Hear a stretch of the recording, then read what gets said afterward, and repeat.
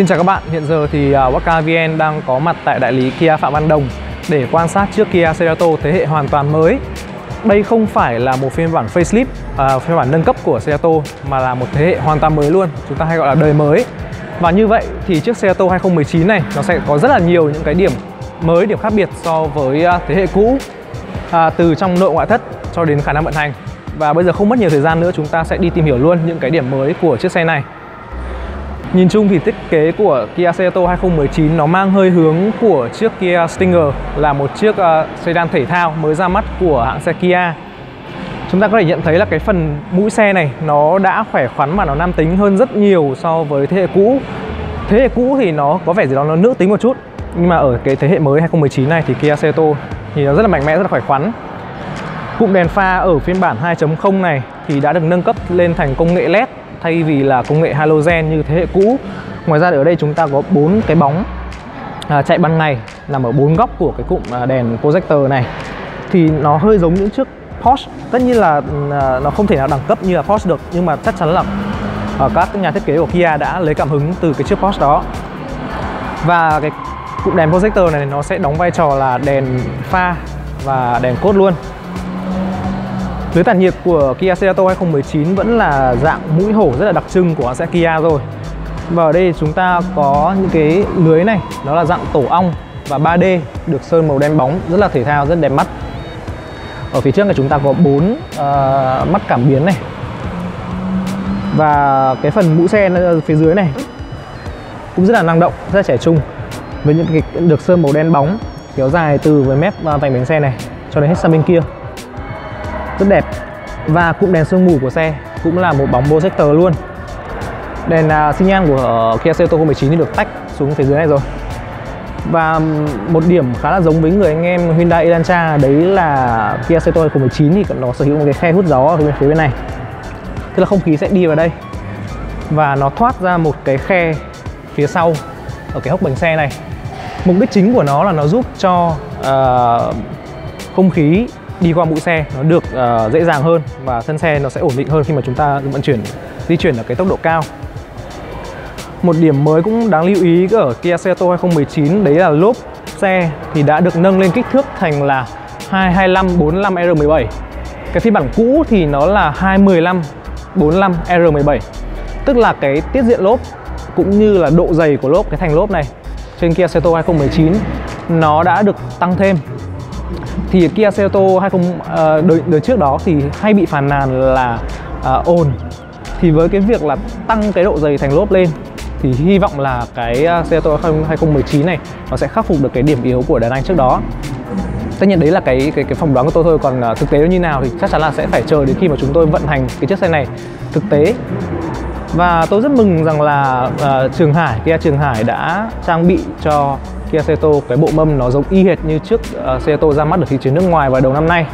Đó là bộ mâm 5 chấu kép với hai tông màu rất đẹp. Và tin vui là cả bốn phiên bản của Kia Ceto thì đều được trang bị cái bộ mâm như thế này. Ở phía bên hông thì uh, cũng có một cái điểm nổi bật ở Ceto mới đấy là toàn bộ các viền cánh cửa từ trên dưới cho đến các bên luôn thì đều được mạ chrome. Ờ, lấy ví dụ như một chiếc xe khác là Hyundai Elantra mà, mà tôi đang đi thì nó chỉ được mạ chrome ở phía phía dưới này thôi và vuốt lên trên như này. Nhưng mà ở Kia Ceto 2019 thì tất cả những viền cánh cửa đều được mạ chrome trên dưới và trụ B thì vẫn là màu à, đen nhám thôi cũng không à, trách được gì.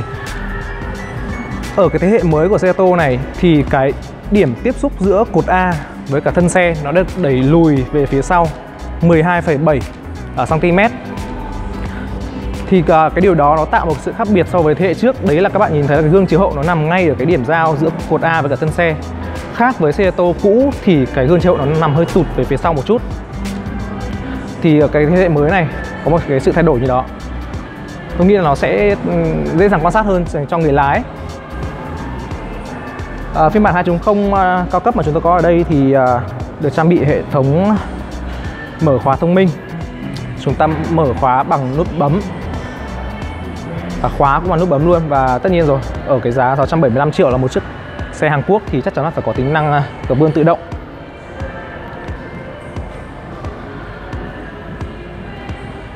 Phần đuôi của chiếc xe uh, tô 2019 cũng được thay đổi rất là nhiều.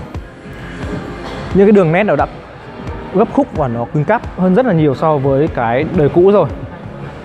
Ở đây thì uh, toàn bộ những cái đèn này tôi nghĩ là đều sử dụng uh, công nghệ LED. Và ờ, có sẽ, xe sở hữu một cái thanh à, LED ngang chạy như này. Tôi nghĩ là vào buổi tối thì nó sẽ rất là đẹp. Và phía đuôi xe cũng có bốn mắt cảm biến như là phần đầu xe.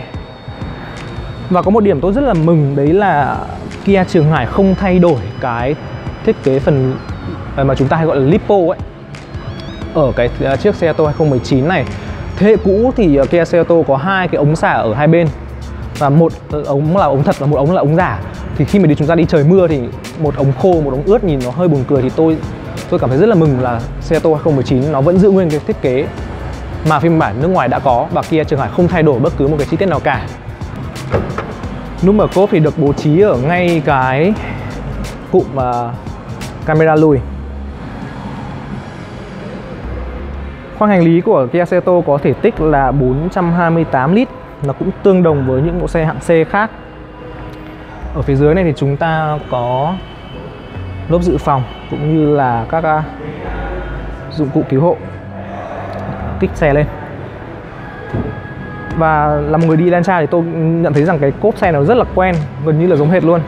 Từ những cái chi tiết như là cái lẫy để mà chúng ta gập uh, à, hàng ghế sau với tỷ lệ 60 40 cho đến là cái cái vị trí đặt tay vào để đóng cốp nó rất là giống. Cũng dễ hiểu thôi tại vì Hyundai Elantra và Kia Sorento nó gần như là hai người em song sinh. Và bây giờ thì chúng ta sẽ vào trong nội thất để xem mà Kia Sorento 2019 có gì mới.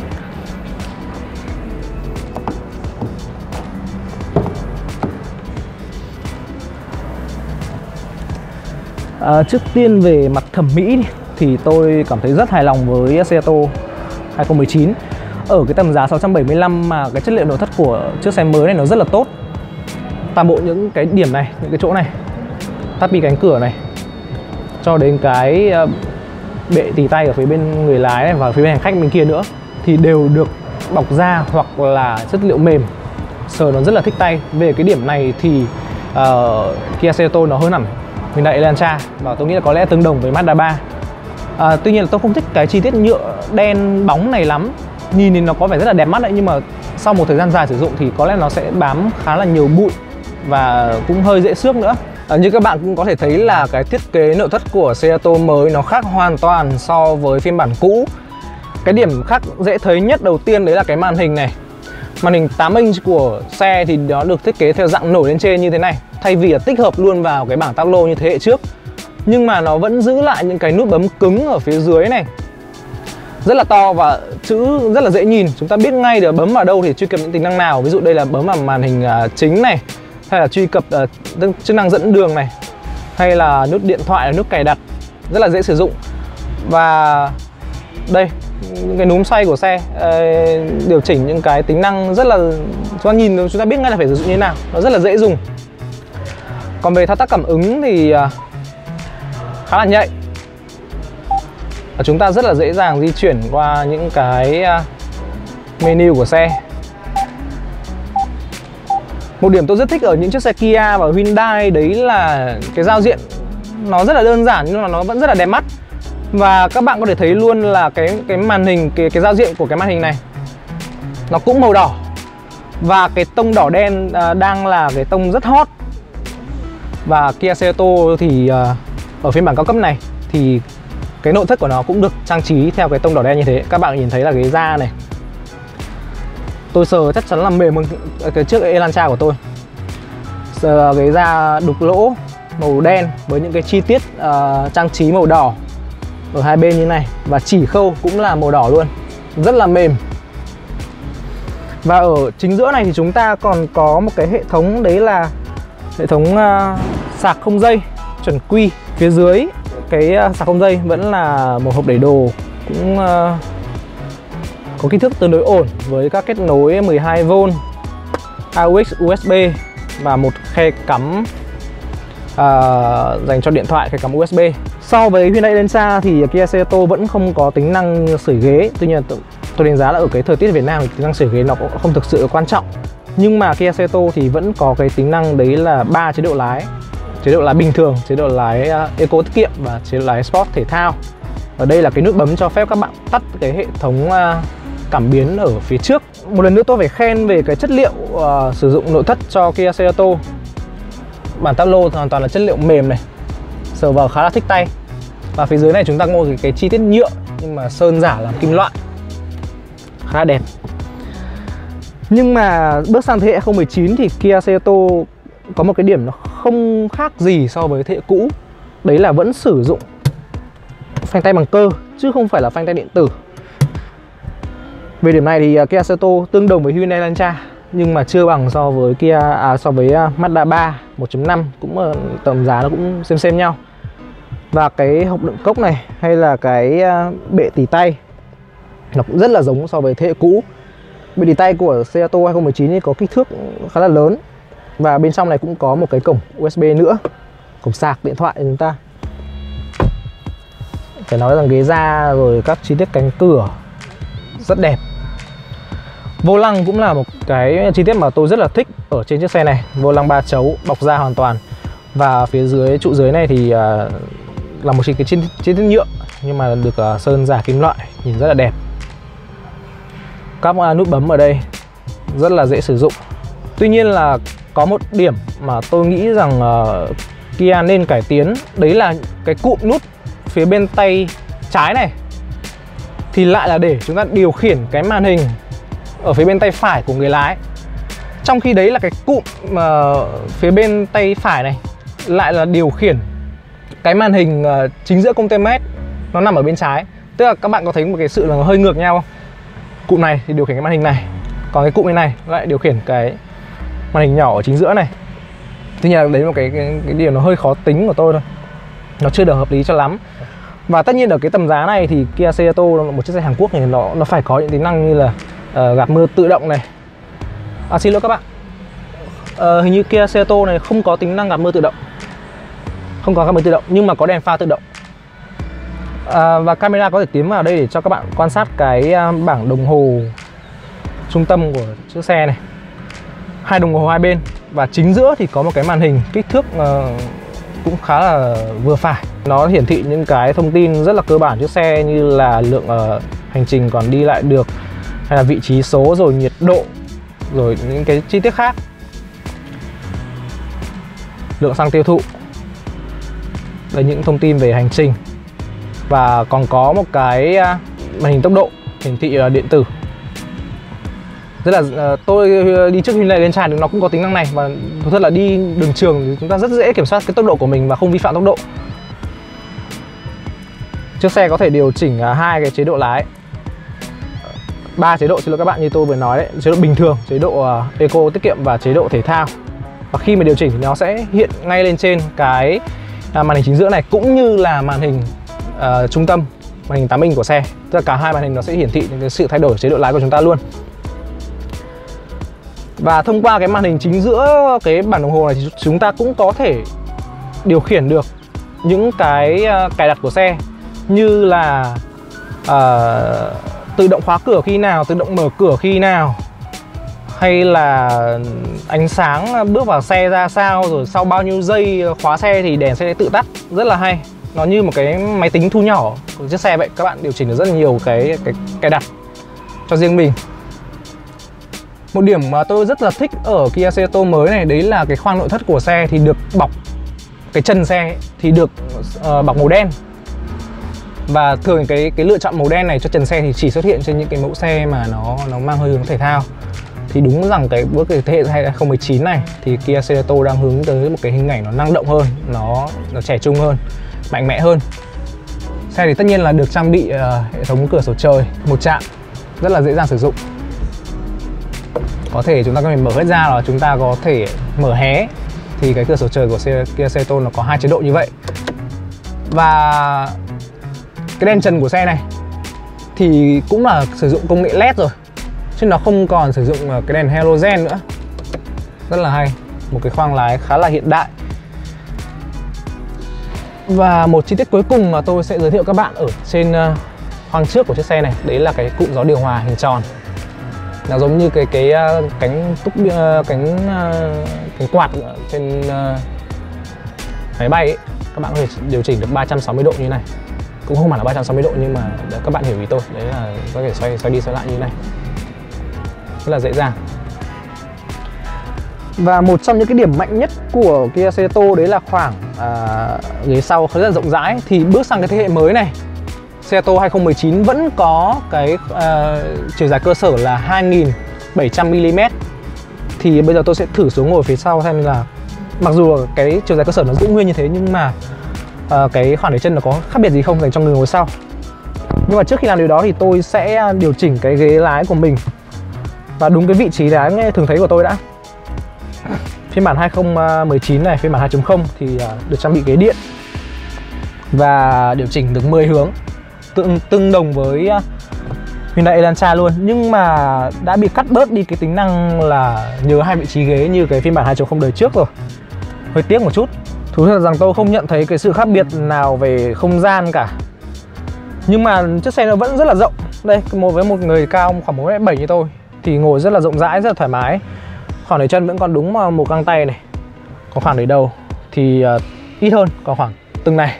Tức là khoảng ờ, năm uh, sáu phân gì đó thì với cái thiết kế mới uh, của Kia Cerato thì nó cũng gặp một cái cái điểm yếu giống như là Hyundai Elantra. Đấy là trần xe tương đối thấp và khi mà bước ra bước vào thì những người có chiều cao lớn khoảng khoảng 1m75 hay 1m80 thì sẽ phải chú ý một chút nếu không là sẽ rất là dễ chạm đầu vào cái cái cái cái nóc xe này. Và hàng ghế sau thì cũng được Hyundai à, xin các bạn cũng được Kia cắt giảm đi về mặt uh, chất lượng chất liệu nội thất đấy là chỉ còn cái phần bệ tỉ tay này là được bọc da mềm thôi. Còn cái bề mặt tắp đi cửa này thì hoàn toàn là nhựa cứng. Nó không được ờ, xịn như là cái cánh cửa phía bên trước. Và phía dưới này thì chúng ta vẫn có hai cửa gió điều hòa dành cho hàng ghế sau. Thì khi mà trời nóng chúng ta sẽ có một cái khoang sau nó nó thoáng hơn. Không gọi là mát hay là lạnh đâu, nhưng mà nó sẽ thoáng hơn so với việc là không có cửa gió điều hòa. Đây, bệ tì tay ngồi rất là thoải mái cái độ ngả lưng ghế của chiếc xe cũng rất, rất là vừa phải. Và tôi phải nhắc lại lần nữa là chất liệu da của Kia Cerato này thì nó mềm hơn so với Hyundai Elantra. Và một cái điểm tôi đánh giá cao chiếc xe đấy là hàng ghế sau thì ngồi được ba người và Kia cũng bố trí cho chiếc xe ba cái ghế tự đầu. Mỗi người một cái một cái một cái gối tự đầu luôn. Trong khi đấy là Hyundai Elantra thì chỉ có hai ghế thôi hơi bất tiện ở cái chiếc xe đó và Kia Ceto thì cũng được trang bị một cái tính năng tương đồng với Hyundai Elantra. Đấy là tính năng mở cốp thông minh, tức là khi mà các bạn có chìa khóa trong người, chiếc xe đang ở vị trí khóa, thì các bạn chỉ cần đứng sau xe khoảng 3 hay 5 hay 7 giây tùy các bạn cài đặt thì cốp xe đã tự bật lên. Rất là hay, bây giờ tôi demo luôn cho các bạn xem. Đây, các bạn thấy là chìa khóa trong người tôi. Chiếc xe đang khóa và chỉ cần đứng sau xe khoảng 3 5 7 giây gì đó, tùy các bạn cài đặt là cốp xe đã tự mở lên ở trước Hyundai Elantra thì cốp nó chỉ tự mở khóa thôi, chứ nó không tự bật lên cao được hết như là Kia Ceto này. Một cái điểm tôi là rất là thích ở cái chiếc xe này, và như vậy. Còn một chi tiết nữa đấy là, như tôi đã nói là xe có thể gập cái hàng ghế sau với tỷ lệ 60 40 và các bạn cần đứng ở phía sau này. Các bạn kéo cái lẫy này. Là hàng ghế sau này, cứ xe còn nó có thể gập xuống được rồi.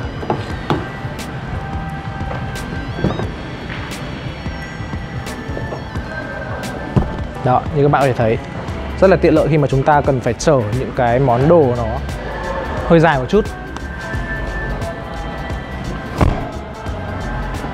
Và để mà gập ghế lại thì cũng rất là đơn giản thôi. Nhưng mà có một cái điểm tôi phải chê, đấy là xe này thì nó không có cái gá để mà giữ cái cái dây an toàn lại khi mà chúng ta gập xuống. Nên là rất dễ có tình trạng là chúng ta kẹt luôn cái lưng ghế vào dây an toàn. Nó hơi khó chịu một chút nhưng mà tôi đánh giá là đây là một cái tính năng mà chúng ta không khi không nhiều khi sử dụng cho lắm. Là cũng có thể chấp nhận được. Các tùy chọn động cơ của cái Ceto 2019 thì gần như vẫn giữ nguyên so với hệ trước.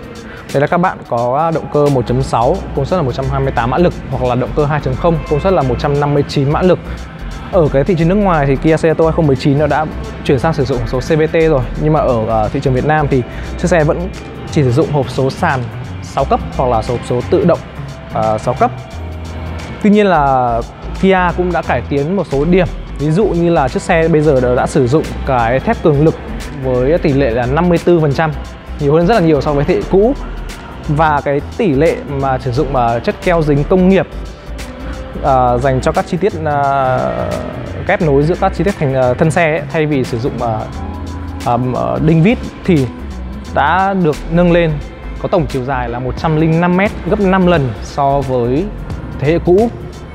Thì uh, theo Kia thì trước Kia Seltos 2019 này cái độ cứng thân xe của nó đã tăng lên 16% ngoài ra thì cái hệ thống à, trợ lực điện dành cho tay lái cũng đã được điều chỉnh để đem đến cái cảm giác lái nó thật hơn nó bớt uh, cảm giác uh, fake cảm giác nhân tạo đi. À, đó là những cái chi tiết mà Kia công bố dành cho xe ô tô 2019 còn thực tế vận hành chiếc xe ra sao thì chúng ta hãy cùng chờ đến khi mà chúng tôi có thể à, cầm lái được chiếc xe này trong một hành trình dài. Và khi đó chúng tôi sẽ có video để chia sẻ với các bạn. À, còn à, video chi tiết chiếc xe Kia Kia Ceto 2019 này đến đây là hết rồi. Và chúng tôi sẽ gặp lại các bạn trong các video lần sau. Xin chào.